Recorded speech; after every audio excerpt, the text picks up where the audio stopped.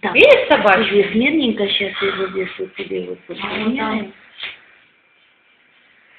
Ой, девочки, наверное, кондиционер будем Я